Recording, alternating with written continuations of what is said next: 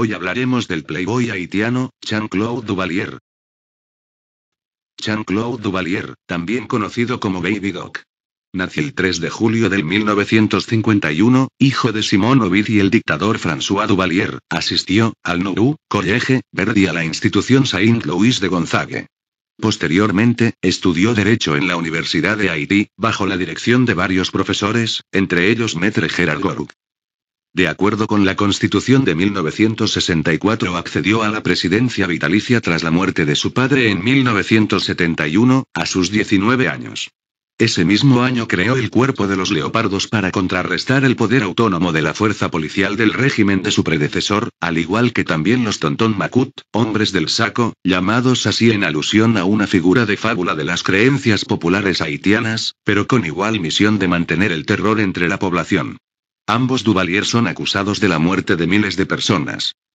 Su gobierno se caracterizó por luchas internas entre miembros de su propia familia y la influencia de su madre, junto con el decaimiento de la economía haitiana, la gran corrupción y la brutal represión hacia cualquier tipo de desacuerdo a su gobierno.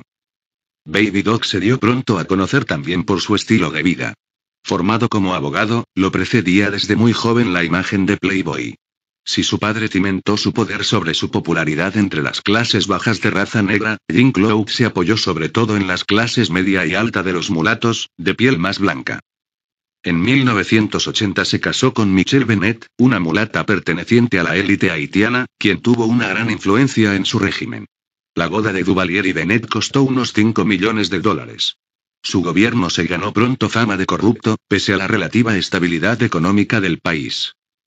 Las acusaciones de despilfarro estaban asociadas sobre todo a su primera esposa, Michelle Bennett, una mulata de clase alta que cuidaba su imagen impulsando la construcción de hospitales y obras caritivas. También a la madre del dictador, Simón Ovid, se le atribuía una importante influencia en los asuntos del Estado. Baby Doc Duvalier fue derrocado por una insurrección armada el 7 de febrero de 1986, después de que Estados Unidos le retirara su apoyo militar y económico. El dictador se asiló en Francia, donde fue arrestado temporalmente a su llegada. Ya en libertad, retomó pronto su estilo de vida excesivo. Baby Dog vivió en París y Cannes y se le solía ver a menudo en la Costa Azul. En el exilio se casó con su amiga de juventud Veronique Roy. El 16 de enero de 2011 volvió de forma inesperada a Haití. He vuelto para ayudar a la gente, aseguró al llegar a Puerto Príncipe, un año después del devastador terremoto que mató a cientos de miles de personas y destruyó la capital.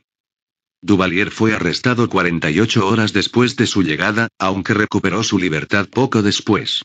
Activistas de los derechos humanos lo acusaban de abusos de los derechos humanos durante su régimen y de haber saqueado las arcas del Estado. Hasta el momento de su muerte había disputas en torno a su patrimonio. Duvalier fue acusado de haber desviado al extranjero cientos de millones de dólares de bienes del Estado. Suiza congeló hace varios años cuentas con activos a nombre de su familia.